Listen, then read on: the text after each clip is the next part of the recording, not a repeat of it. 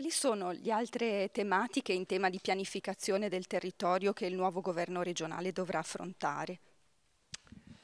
Difficile anche in questo caso dare una risposta ad un problema talmente complesso e insoluto e vorrei dire che in questo caso, come anche per l'altra domanda, è inutile indulgere in troppo facili ipocrisie, è ovvio che molto dipende anche dal tipo di visione ideologica che ha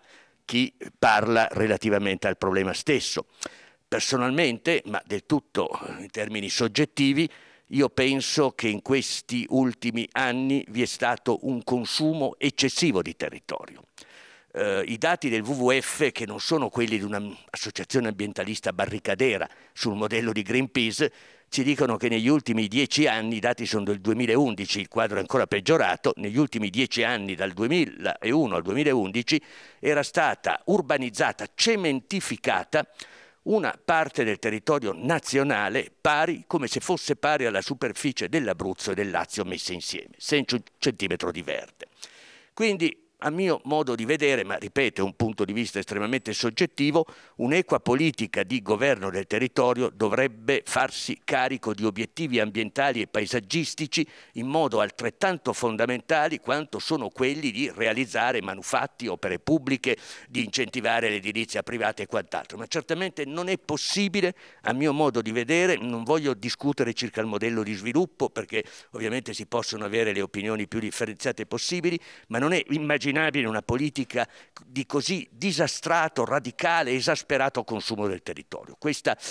i geografi, eh, tutti gli specialisti, io ho fatto abbastanza ricerche insieme con i colleghi di scienze politiche, Dansero che è vice rettore e altri sono geografi di una certa reputazione e tutti avvertono anche in Francia circa quest'uso dissennato che si fa del territorio. Per cui certamente eh, un punto di vista ideale, filosofico vorrei dire, quasi di etica della legislazione, che a me starebbe molto a cuore trovasse riscontro nelle scelte legislative strategiche di una regione come dello Stato, è senz'altro questo.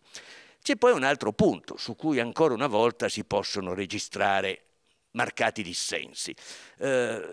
rapporto pubblico-privato nel campo del governo del territorio, dell'edilizia proprio, non solo della pianificazione ma dalla, della realizzazione di opere che dalla pianificazione ovviamente originano, fa i conti questa tematica con un problema che vediamo essere anche tra i cavalli di battaglia del presente governo nazionale, la semplificazione amministrativa.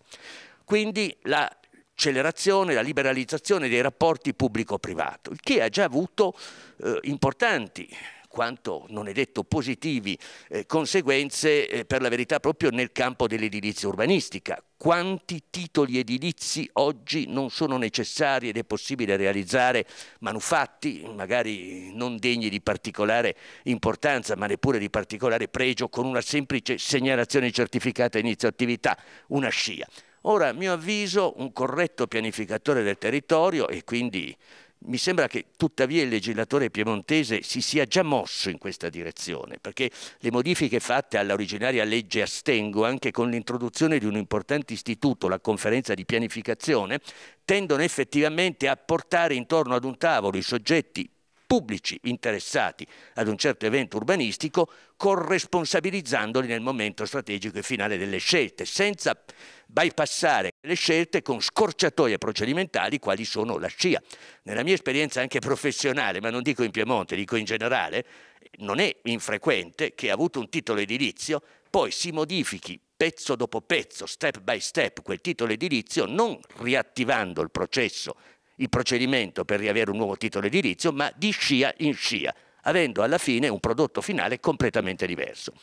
Questa è una di quelle emergenze di tipo urbanistico-ambientale alle quali, secondo me, pone già riparo in modo sufficiente ed adeguato l'attuale riforma della legge urbanistica piemontese, ma sulla quale emergenza sarebbe bene continuare a vigilare in modo attivo.